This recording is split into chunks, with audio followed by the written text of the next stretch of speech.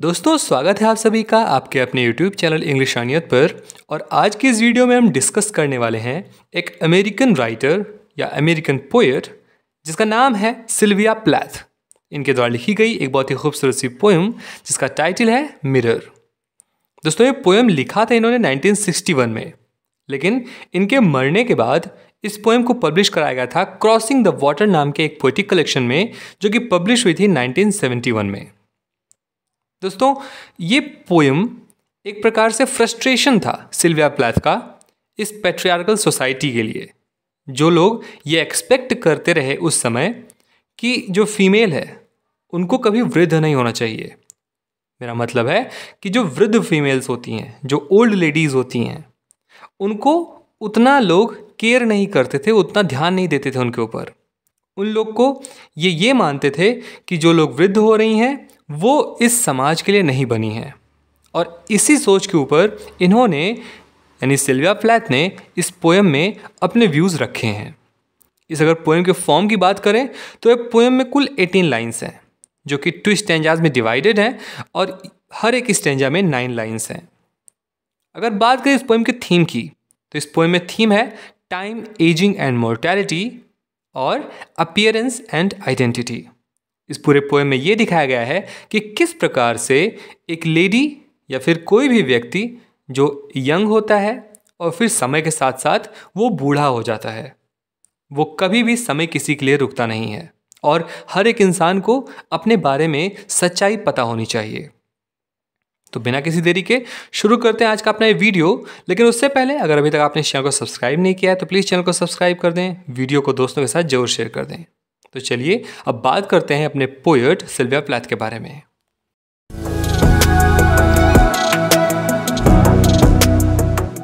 दोस्तों Sylvia Plath का जन्म 27 अक्टूबर 1932 को बोस्टन मैसेच्यूसेट्स यूएस में हुआ था और इनका देहांत 11 फरवरी 1963 को जब वे 30 साल की थी, यानी 30 इयर्स की थी, तब लंदन इंग्लैंड में हुआ था। इससे पहले भी इन्होंने बहुत बार अपनी जान लेने की कोशिश की थी, यानी सुइसाइड करने की कोशिश की थी। लेकिन लास्ट में फरवरी में 1963 में इन्होंने एटलीस्ट सुइसाइड करके ही अपनी जान गंवा दी। इनका पेन नेम था विक्टोरिया ल्यूकस और ये ऑक्यूपेशन से एक पोएट थी, एक नॉवेलिस्ट थी और एक शॉर्ट स्टोरी राइटर भी थी। अगर इनके नोटेबल वर्क्स की बात करेंगे तो द बेल जार और एरियल इनके बहुत ही नोटेबल वर्क्स रहे। और इनके नोटेबल अवार्ड्स की अगर बात करें तो फुल ब्राइट स्कॉलरशिप ग्लास कॉक प्राइज और फिर पुलिट्जर प्राइज मिला इनको 1982 में इनके डेथ के बाद। तो ये तो हो गई बात अपने सिल्विया प्लैथ की। अब हम शुरू करते हैं आज का अपना पोएम दोस्तों पोएम शुरू होती है और यहाँ पर सिल्विया प्लाथ एक मिरर का पॉइंट ऑफ़ व्यू लेकर चलती हैं कि एक मिरर अपने आप के बारे में कैसे बताएगा? वो क्या करता है? किस प्रकार से कैसे चीज़ों को दिखाता है और क्या सोचता है। लिखती हैं I am silver and exact मैं सिल्वर कलर का हूँ और एग्जैक्ट हूँ। एग्जैक्ट यानी मेरे सामने जो कुछ भी आता है। एज इट इज़ मैं उसको, उसका प्रतिबिंब, मैं उसको, उसकी परछाई दिखाता हूँ एग्जैक्टली exactly वैसे ही। I have no preconceptions मेरी कोई पूर्व अवधारणा नहीं है। यानी मैं पहले से सोचकर नहीं बैठा रहता। मैं क्या करता हूँ? Whatever I see I swallow immediately just as it is मैं जो कुछ भी देखता हूँ, मैं उसको उसी प्रकार ग्रहण करता हूँ, जिस प्रकार से वो है। अनमिस्टेड बाई लव और डिसलाइक यानी कि कोई भी इस चीज़ को प्यार करे, या यानी कि किसी को भी ये अच्छा लगे, या किसी को भी ये बुरा लगे। मैं इस बारे में बात नहीं करता, ना मैं इस चीज़ का कोई असर लेता हूँ अपने ऊपर। अनमिस्टेड, यानी कि अनदेखा करना, यानी मैं इस चीज़ का अनदेखा करता हूँ कि कोई ये चीज़ अच्छी समझ रहा है या बुरी समझ रहा है। किसी को बात अच्छी लग रही है या बुरी लग रही है, वो जैसा भी है, मैं उसको दिखाता हूँ। मैं कोई भी भेदभाव नहीं करता और ना ही मैं इस चीज़ को लेकर के प्री कंसेप्शंस बनाए रखता हूँ अपने पास। आगे वो लिखते हैं I am not cruel only truthful इस चीज़ से आप ये मत समझिएगा कि मैं बहुत क्रूएल हूँ, मैं बिल्कुल भी क्रूएल नहीं हूँ, मैं बिल्कुल भी निर्दयी नहीं हूँ।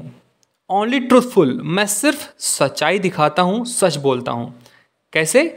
जिस प्रकार से the eye of a little god four cornered जिस प्रकार से भगवान की आँखें हमेशा सच्चाई दिखाती हैं, हमेशा सच की बातें करती हैं, उसी प्रकार से भगवान की एक छोटी सी आँख हूँ, जिसके शायद चार कोने हैं। यानी कि जो मिरर है, वो फोर कॉर्नर्ड मिरर है। वो अपने बारे में बातें बता रहा है। आगे वो बताता है most of the time I meditate on the opposite wall अधिकतर क्या होता है, मेरे सामने, मेरे अपोजिट जो दीवार बनी हुई है, यानी कि एक मिरर रखा हुआ है मिरर के सामने कुछ जगह है जहाँ पर लोग आकर के अपने आप को देखते हैं और उसके बाद में एक दीवार है। तो यहीं पर ये बात कर रहा है कि अधिकतर समय मैं क्या करता हूँ? मैं सामने जो दीवार है, उसको ध्यान से देखता हूँ। उसको ही ध्यान से देखता रहता हूँ। आई मेडिटेट यानी ध्यान करना। मैं उसको ही ध्यान से देखता रहता हूँ।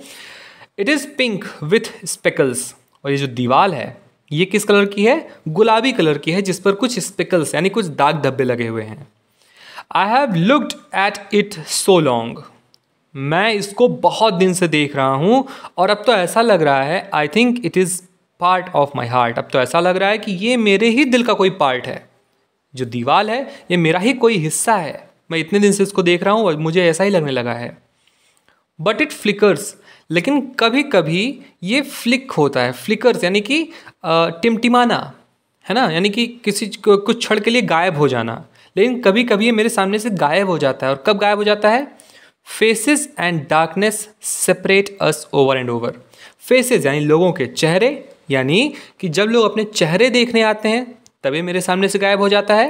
एंड डार्कनेस और जब अंधकार हो जाता है, जब अंधेरा हो जाता है, तब ये मेरे सामने से गायब होता रहता है बार बार ये तो हो गई फ़र्स्ट स्टेंजा बढ़ते हैं अपने अगले स्टेंजा पर।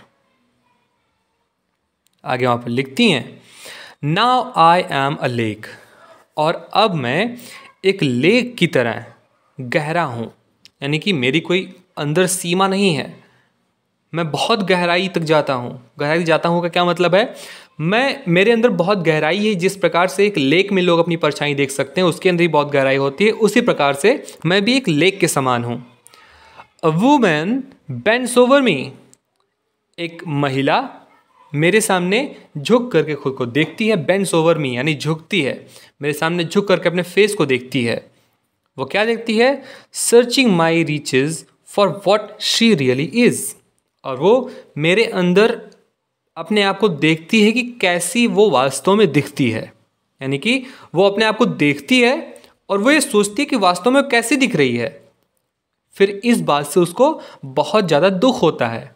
आगे वो लिखती हैं Then she turns to those liars, the candles or the moon. और मेरे अंदर खुद को देखने के बाद ये उन झूठों की तरफ़ मुड़ जाती हैं उन झूठों के सहारा ले लेती हैं। वो झूठ कौन कौन से हैं? कैंडल्स और मून अब यहाँ पर कैंडल्स और मून का क्या मतलब है?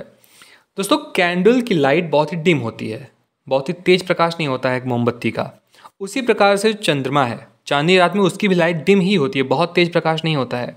तो जो लाइट होती है, वो डिम होती है, इसलिए उसको अपने फेस की झुर्रियाँ, अपने फेस का बुढ़ापा, ढलता हुआ उसका उम्र, ये सब चीज़ें उसको नहीं दिखती हैं। तो वो इन सब चीज़ों को सोच करके खुश होती है। इसीलिए उसको यहाँ पर मिरर लायर्स कह रहे हैं, झूठे कह रहे हैं। और ख़ुद ये ट्रुथफुल है, ये हमेशा सच बोलता है। इसलिए इसमें जब अपने आप को फेस को देखती है वो लेडी उसको अपनी झुर्रियाँ दिखती हैं, अपने बढ़ते हुए उम्र का एहसास होता है तो वो इस चीज़ को लेकर के बहुत ज़्यादा हर्ट हो जाती है, गुस्सा हो जाती है। फिर वो क्या करती है? I see her back and reflect it faithfully जब वो वापस मुड़ के जाती है तब मैं उसके बैक को, उसके पीठ को भी देखता हूँ और इसको भी मैं उसी प्रकार, उसी विश्वास से रिफ्लेक्ट करता हूँ, दिखाता हूँ उसे, जिस प्रकार मैं उसके फेस को दिखाता हूँ। यानी कि जो शीशा है, वो कभी भी भेदभाव नहीं करता। आप कुछ भी देखिए, कैसे भी देखिए, हमेशा वो सच्चाई ही दिखाता है। और यही चीज़ें उस लेडी को पसंद नहीं आ रही है। आगे वो लिखते हैं she rewards me with tears and an agitation of hands मैंने तो उसको सच्चाई दिखाया। लेकिन उसने मुझे क्या रिवॉर्ड दिया? अपने आँसू और गुस्से से कांपते हुए उसके हाथ। एजिटेशन एजिटेशन का मतलब होता है उत्तेजना, अशांति, गुस्सा, क्रोध। तो मैंने तो उसको सच्चाई बताई, लेकिन वो इस सच्चाई को पचा नहीं पा रही है एक्सेप्ट नहीं कर पा रही है इस ट्रुथ को। तो इसलिए वो गुस्से में अपने हाथों को कस के पकड़ रही है, दबा रही है और अपने आँसू, अपने आँखों से आँसू बहा रही है। आगे मिरर कहता है I am important to her मैं उसके लिए बहुत ज़्यादा आवश्यक हूँ। सी कम्स एंड गोज वो मेरे पास आती है और जाती है।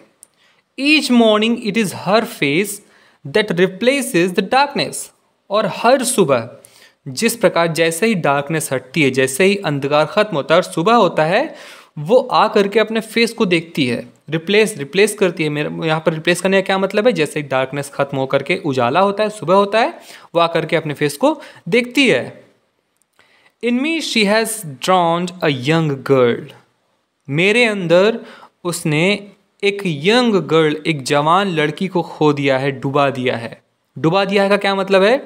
कि बचपन से जब से वो छोटी है एक यंग थी, फिर यूथ हुई, फिर अब ओल्ड की तरफ़ बढ़ रही है, ओल्ड एज की तरफ़। तो इस प्रकार से इसने ये कहा है कि अपनी जवानी, यानी कि जब ये जवान थी, जब ये यंग थी, तब तब भी आके मुझमें अपने आप को देखती थी। और तब से लेकर के आज तक ये मुझे देख रही है। इस प्रकार से इसने अपने जो जवानी के दिन है, उसको भी मेरे अंदर ही देखे हैं, मेरे अंदर डुबा दिया है। And in me an old woman rises towards her day after day like a terrible fish. और मुझमें ही वो ये भी देख रही है कि उसका अब बुढ़ापा आ रहा है, जैसे ही एक एक दिन आगे बढ़ रहा है। यानी कि जिस प्रकार से किसी नदी में पड़े हुए किसी व्यक्ति की तरफ़ एक बड़ी भयानक सी डरावनी सी मछली आती है, तब वो व्यक्ति डरता है। उसी प्रकार से उतने ही डर से वो अपने आप को अब मुझमें देखती है, जिस प्रकार से उसके तरफ़ वो बुढ़ापा बढ़ता हुआ आ रहा है। यानी कि अपने बुढ़ापा को वो एक्सेप्ट नहीं करना चाहती। क्योंकि उस समय जो सोसाइटी थी, वो वृद्ध महिलाओं को कुछ नहीं समझती थी, कोई वैल्यू नहीं देती थी। और इस प्रकार यहाँ पर हमारा पोएम ख़त्म हो जाता है। दोस्तों, आशा करता हूँ कि ये पोएम आपको बहुत ही अच्छे से समझ में आया होगा। आपको कोई सजेशन देना है तो आप कमेंट बॉक्स में सजेस्ट कर सकते हैं। मिलते हैं अगले वीडियो में एक नए से टॉपिक के साथ। तब तक के लिए अपना ख्याल रखिए। धन्यवाद।